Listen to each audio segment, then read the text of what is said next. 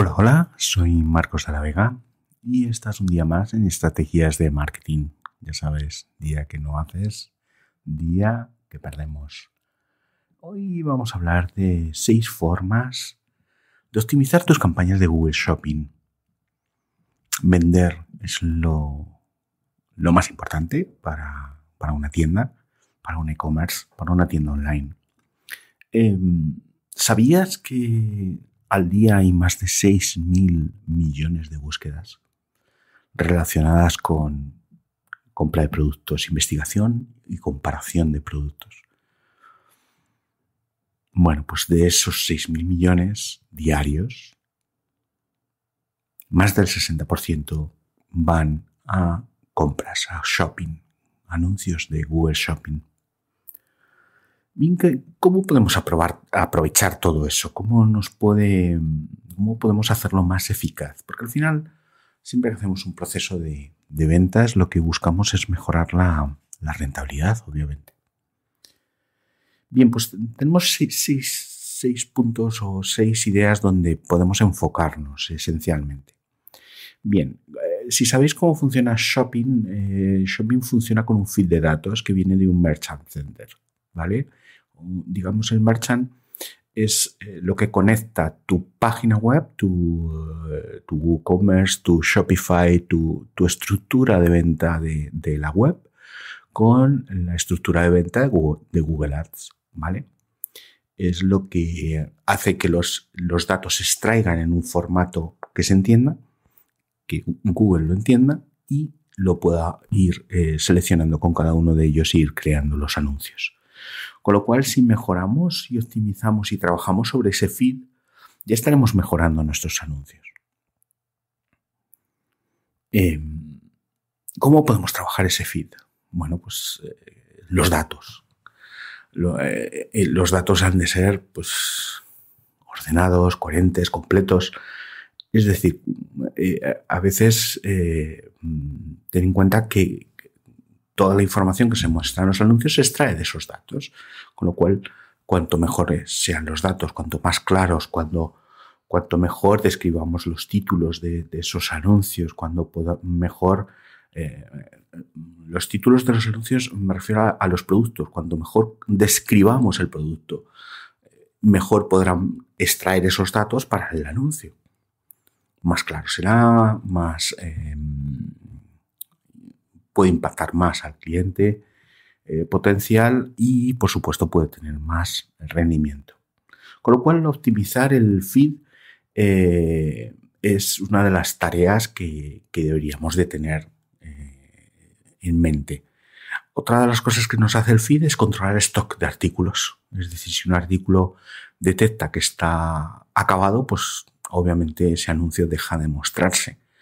Con lo cual, en función del volumen de la tienda, eh, pues eso hay que automatizarlo. Hay que hacerlo, esa revisión de feed empieza a ser, a complicarse a partir de, 500 artículos, o sea, hasta 500, pues bueno, a lo mejor lo puedes hacer de una forma manual, pero a partir de un volumen, 500 o 100, o depende de la complejidad de la tienda, eh, pues, pues empieza a ser un problema y hay que automatizar todas esas funciones.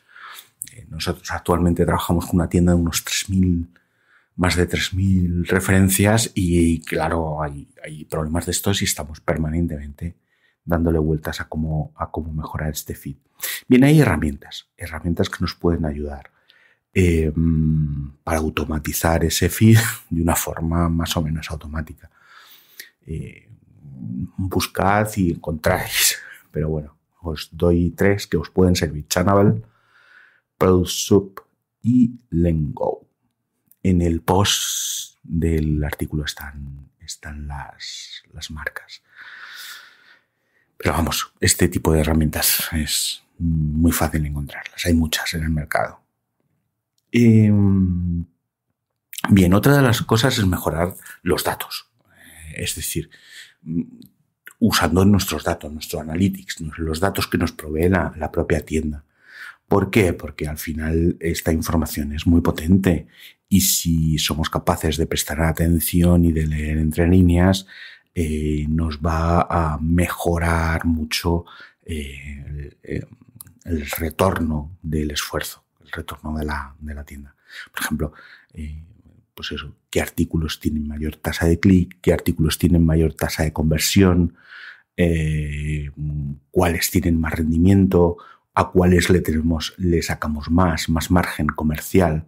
Es decir, no es lo mismo eh, apretar con un producto con un margen bajo que si tenemos un margen de los más altos de la, tienda. Entonces, pues bueno, eh, ahí podemos, podemos trabajar en esas, en esas variables, porque al final lo que queremos es mejorar la eficacia del retorno de la inversión, de la, en publicidad, obviamente, el ROA. El ROI, de la inversión en publicidad o el ROAS, depende cómo lo miramos. Eh, otra de las cosas que podemos hacer es mejorar las pujas. Pero claro, ¿cómo vamos a mejorar las pujas? Eh, hombre, vamos a utilizar normalmente Smart Bidding, que es el sistema eh, de inteligencia artificial que tiene la propia plataforma. Porque, bueno, porque, ¿para qué vamos a intentar ser más listos que ellos? Ellos tienen muchísimos datos. Eh, porque capturan, pues eso, micromomentos, micro... Eh, en qué secuencia el cliente llega a tu tienda y ha visto qué antes, qué va a ver después, qué ha hecho antes, dónde está con el GPS, saben en qué zona. Eh, es decir, al final hay una serie de variables, es hombre, es mujer, eh, hora del día, eh, lugar, son muchas variables que, tú solo eh, o analizándolo individualmente nos es más complejo. Por eso hay que confiar en, la máquina y obviamente aumentar la puja por aquellos artículos que, nos den más rentabilidad. Es decir, vamos a, a empezar con una audiencia amplia y luego vamos a ir centrando y vamos a ir pujando por aquellos valores mucho más concretos que nos maximicen las conversiones y sobre todo el retorno de la inversión. Al final es lo más, es lo más importante. Podemos pujar por artículos que nos den más rentabilidad o más facturación o, bueno, en función de lo que nos interese.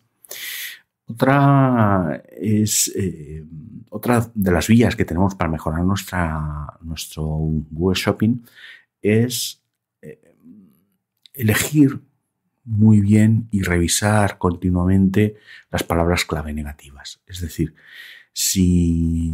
Eh, ¿Por qué las palabras clave? Porque ahí se pierden clics, se pierde dinero. Se pierde dinero en búsquedas que a lo mejor no nos interesan. Tú imagínate que estás vendiendo un artículo exclusivo de mujer.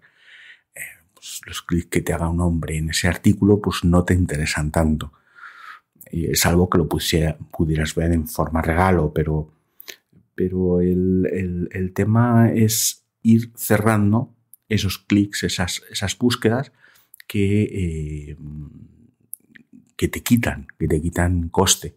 Por ejemplo, si vendes un zapato de, calle, pues una zapatilla o una o, otro tipo de calzado de mujer que también puede ser complementario, pero no es el tuyo, no es el que tú quieres vender.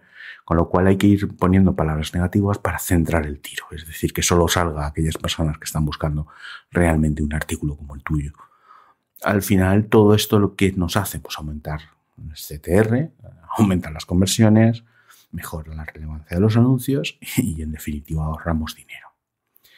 Eh, otro de los puntos con el que se puede trabajar en shopping es las imágenes, que sean profesionales, fondo blanco, que se vea muy claro el artículo, varios planos, varias, varios ángulos del, artículo para que se vea bien, para que el, cliente tenga toda la información antes de hacer la compra. y que no se, que no dude de, que no haya partes y zonas en negro, que no haya el lado oscuro de la luna en, en el artículo. Entonces todo esto nos va a ayudar y obviamente cuando la imagen es más nítida, con mejor calidad y demás, pues esto nos, nos ayuda. Y por supuesto, eh, el copy, de los títulos, el texto, cómo describes el artículo, cómo mandas el mensaje, es decir, destacar, cómo, cómo destacar con el texto de descripción de los artículos. Cuando estás vendiendo un zapato azul, eh, pues bueno, zapato azul es muy genérico, darle una vuelta, darle una vuelta a ese, ese texto y, intenta darle otro punto, otro ángulo, otro, otro punto de vista que, llame la atención, que digan, uff, estos son diferentes, estos son los más bonitos. Al final es eso de lo que se trata el comercio, es decir, el, tema de, llamar la atención, de, buscar ese punto de, destacar, destacar tu artículo sobre, sobre los demás. En fin, eh, seis ideas, seis eh, formas de destacar en, tu estrategia de Google Shopping. Eh, os recuerdo, feed, trabajar con el feed, trabajar con el, con el smart bidding, con los, con los datos, con, la forma de, de, de las pujas, vamos, los datos externos, Google Analytics, eh, las palabras claves negativas, las imágenes y, por supuesto, los títulos, el copy, ¿vale? Del artículo.